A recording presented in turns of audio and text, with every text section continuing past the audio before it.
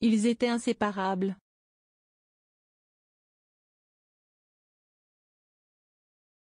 Le 20 novembre 1947, Élisabeth II a dit oui à l'homme de sa vie, le prince Philippe.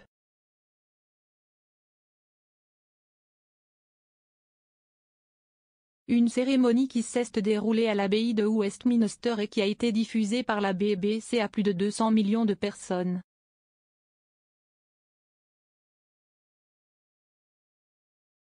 En 73 ans de mariage, le couple s'est montré très proche au fil des années et selon les informations publiées par Paris Match ce jeudi 4 novembre, le duc d'Édimbourg avait beaucoup d'imagination.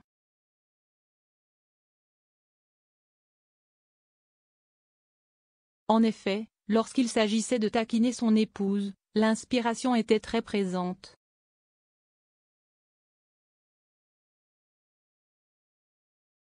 Alors que la reine d'Angleterre prenait de l'âge, il était hors de question pour le prince Philippe qu'elle se sente mal.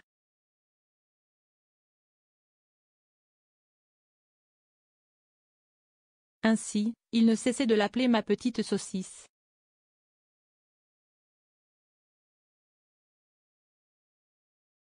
La raison? Il l'aida à vieillir, tout particulièrement quand elle atteignit la soixantaine, sans pata et pris d'un seul coup des airs de matriarche coincée, peut-on d'abord lire?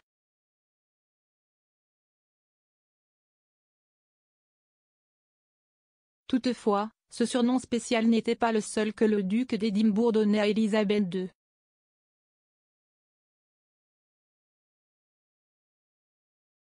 En effet, il y avait également ma petite tête de chou-fleur.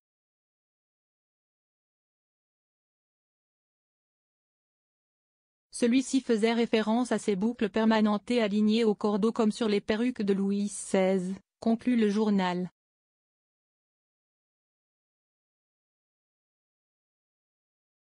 Son plus fidèle soutien.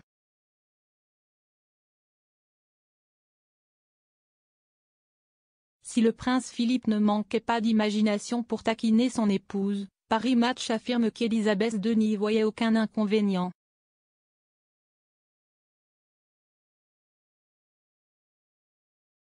Elle ne changea pas de coiffure mais rit aux éclats, rompue qu'elle était assez bons mots, des plus badins aux plus caustiques, peut-on lire.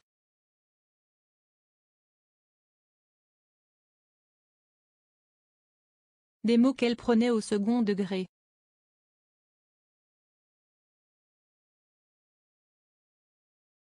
Elle avait deviné depuis des lustres qu'il dissimulait une tendresse que Philippe n'aurait pas avouée pour un empire, est-il ensuite expliqué.